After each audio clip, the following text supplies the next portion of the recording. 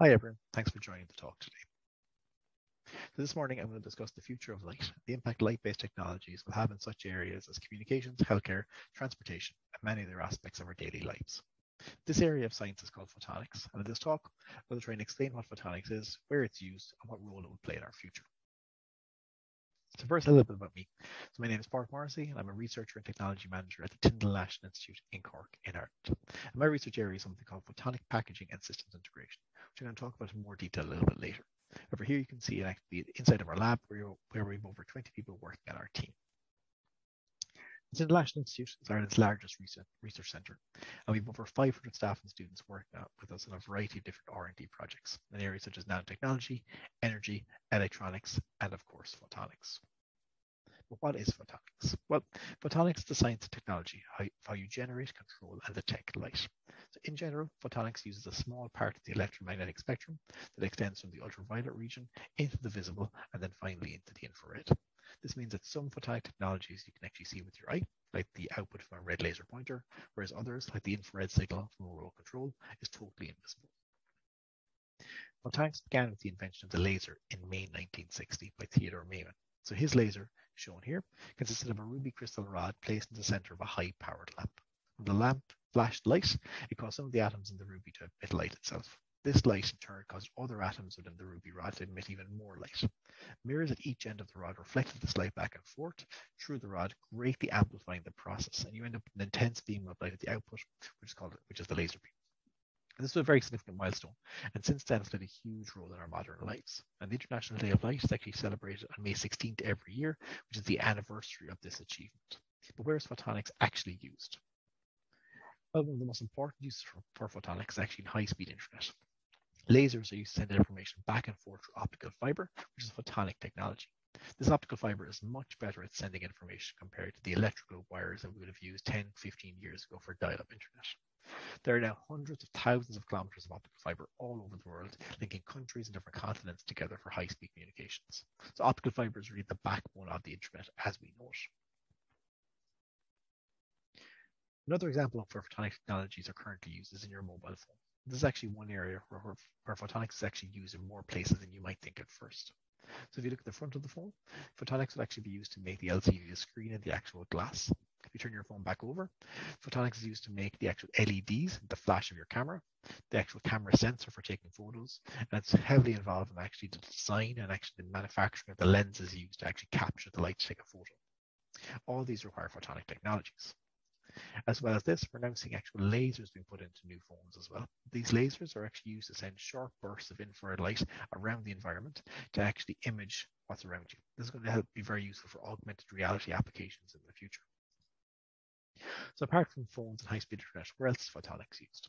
Well, photonics is used in your smartwatch to measure your heart rate as well as do other diagnostics. It's used in healthcare for eye surgery. In automotive industry, it's used for advanced manufacturing and also for LiDAR for actual self-driving cars. Consumer products, it's used in lighting, cameras, and TV. So photonics is really everywhere around us. What is the future of light and photonics? Well, this is a question that we're currently working on at Tyndall. And the next part of my talk, I'm going to try and describe the future of light and how new light-based research will actually impact our lives. The invention of the integrated circuit, or the IC, has revolutionized the use of electronics in the world around us. An integrated circuit, or IC, brings together a collection of different electronic circuits, including resistors, transistors, capacitor, capacitors, and diodes, to form a single given function. Now, one single integrated circuit can contain thousands to millions of such components, depending on the computing power required. Right now, we're actually starting to see a new type of integrated circuit appear. Instead of integrating electrical components together, it's actually integrating many different optical circuits, circuits together. So now we're actually having light moving around the chip rather than electrical signals. And this technology is called photonic integration. So how does this work? Well, typically you take components that are usually thought of as being discrete or separate. This can be something like a laser that's used to generate light, a transmitter that's used to encode information, so to create those ones and zeros in terms of optical pulses, and a detector that's used to measure or sense the light output. And you put them together onto a common platform. Now, integrating onto a common platform allows you to really miniaturize the full system. So you can take a very large lab-based technology that you can see here at the top left and make it extremely small, so small that you can even fit it on the top of a match.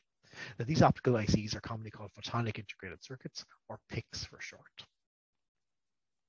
Here we can see an example of one such PIC and we actually work on Tyndall, and it's from our partners Fraunhofer in Germany.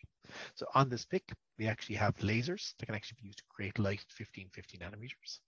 We have modulators that are used to turn on and off the light to encode information. So in this case, the modulator is actually working about 20 billion times a second to encode information, so extremely fast.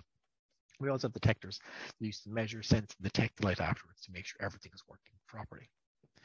These photonic integrated circuits um, are extremely small, have lower power consumption, improve reliability, and you can make really complex systems from them. So there's several advantages that are actually really important in terms of photonics from these circuits. These photonic integrated circuits can really help some, solve some of the world's major technological challenges in terms of healthcare, agri-tech, data security, and also internet communications. Communications in particular is actually one area where photonic integration is already being used to cope with the increasing demands for internet bandwidth.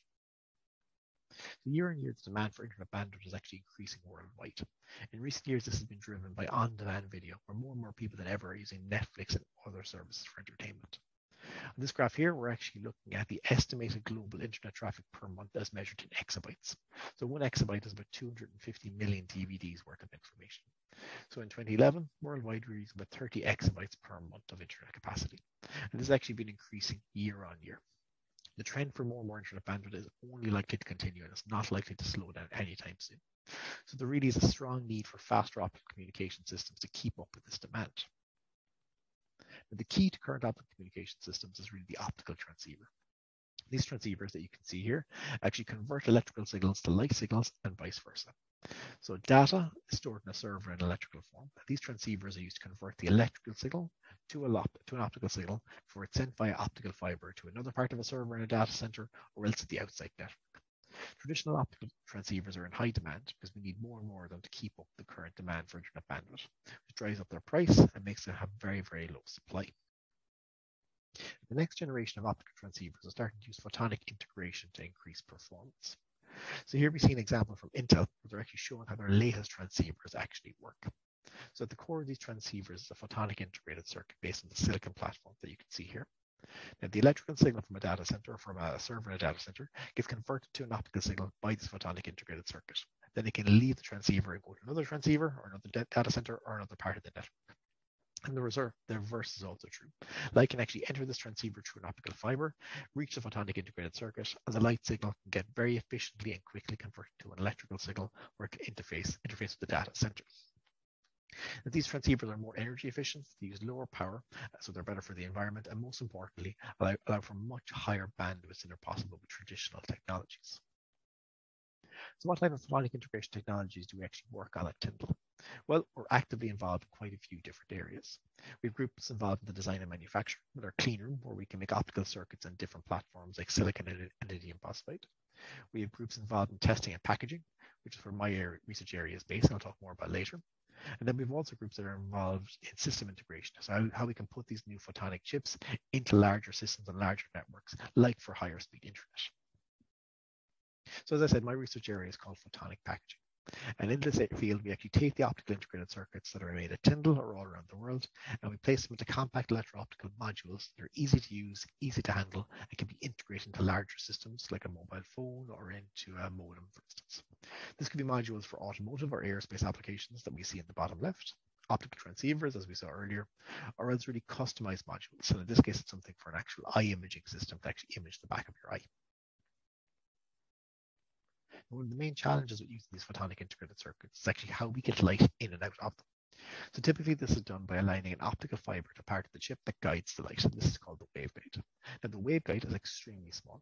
Typically it's less than 10 microns in diameter. This is about five times thinner than the thickness of a human hair, which is a diameter of about 16 microns. So we really need advanced processes and technologies to actually get the light in and out of these photonic integrated circuits. So in our group at Tyndall, we're actually working to develop simulations and processes to do this as efficiently and as quickly as possible. So we work on the mechanical, electrical, and optical design of these chips, and really come up with new ways of getting light and electrical signals to and from them. So here we can see some examples. Some members of our group actually work on the mechanical design of one of these systems, with an example down below of how we get light in and out of a chip and how we back that up by really advanced optical simulations. The future of packaging and light-based technologies will involve actually combining state-of-the-art electronic chips with state-of-the-art photonic chips in a single system. So in this case, then you're using the best of both worlds. This is very challenging and requires extensive R&D, but the possibilities are huge for, for where these technologies will be used in the future. So here you can see an example of some of this photonic integration, where we're combining state-of-the-art electronics with really state-of-the-art and advanced optics and photonic systems. And this is going to be used for an actual data communication system that we're currently working on at Tyndall. So to conclude my talk, I'd really like to highlight one area or one interesting area where we're combining photonics and electronics for a state-of-the-art medical diagnostic tool, which you can actually see here. The problem we're trying to solve with this too is that cardiovascular disease is responsible for about 30% of the deaths worldwide. And there's really a really strong need to actually be able to diagnose the early stage markers for heart disease as quickly as possible so we can give people the help they need before they actually have to go to the hospital for major surgery. Now, one of the most promising ways to actually detect the likelihood of you developing heart disease is by measuring something called the pressure flow of blood through an artery. This is called the pulse wave velocity. The higher the speed or the higher the velocity, the stiffer the artery is, which implies that there's a higher risk of getting heart disease. Now, typically, you measure the pulse wave velocity by actually taking a measurement between the femoral artery in your leg and the car- carotid artery in your neck. This is a slow process, slightly invasive for the patient. And at Tyndall, we've been working how photonic integration and lasers can actually be used to make a handheld module that can do, that can do this much faster and be non and, more, and less invasive than traditional technologies. So through a project called CARDIS, we've actually worked with some of the world leaders in photonic integrated circuits. So they actually made a concept photonic integrated circuit that can actually measure a, pace, a patient's pulse wave velocity using six laser beams that can be incident on the carotid artery only.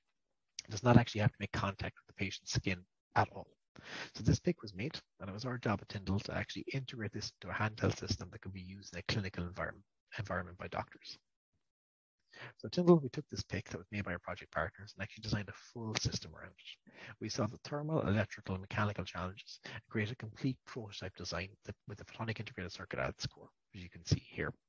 This design was then manufactured by engineers and scientists, and we created the first, the world's first working prototype of the system. This prototype was extremely successful and underwent clinical trials in 2019 in two hospitals, so one in Paris and one in Holland. In this video, you can actually see a clip of where it was shown on French national television, one of their main science programs there. So here, one of the doctors that we worked with to develop the system is actually demonstrating the system on a colleague.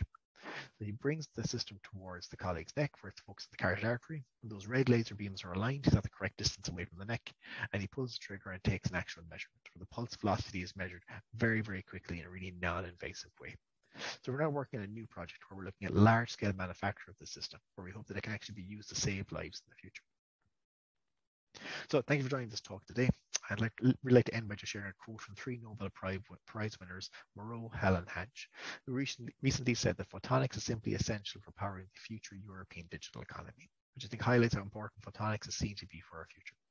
So I hope that'll help you understand a little bit more about photonics, what it is, and how it's used, and how it will influence our lives in the future. So thank you.